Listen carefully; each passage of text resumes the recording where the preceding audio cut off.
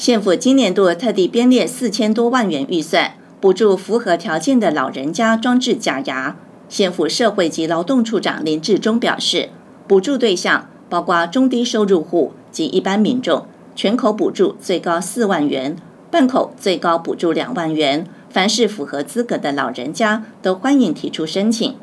今年度吼一百零八年吼，咱幼园也有办理吼老人的假牙补助吼，是拢总有四千吼控九十四万的预算吼，要来推动吼。今年的改变的方式就是讲吼，经过一个啊，这个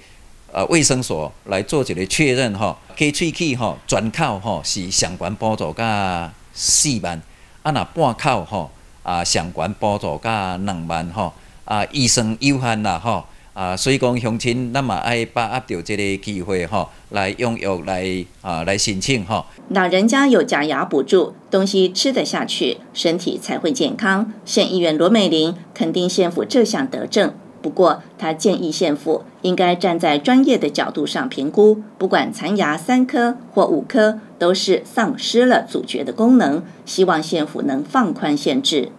那当然这是一个德政，那可是呃事办这两年下来呢，我们发现说需求的人口非常的多。那还有另外一个问题呢，老年人他的假牙补助呢，它有一个规定，也就是说上颚跟下颚。这个残牙呢，要在三颗以下呢，才能够做这个假牙的这个补助。可是很多老年人呢，他不知道，到了这个牙医诊所之后，却面临了残牙的这个限制哦。所以，我们在这里呢，也呼吁我们南投县政府呢，是不是能够来做一个调整？其实，根据牙医师的这个评估，不管是残牙剩下三颗或是五颗，其实都丧失了这个呃咀嚼的这个功能。县府为年长者补助假牙装置的措施，县议员。罗美玲肯定这是一项德政，但依照规定，要三尺以下的残齿才能接受全口假牙的补助。罗议员希望县府能以更专业的角度来评估，因为三尺或四到五尺的残牙同样失去咀嚼的功能，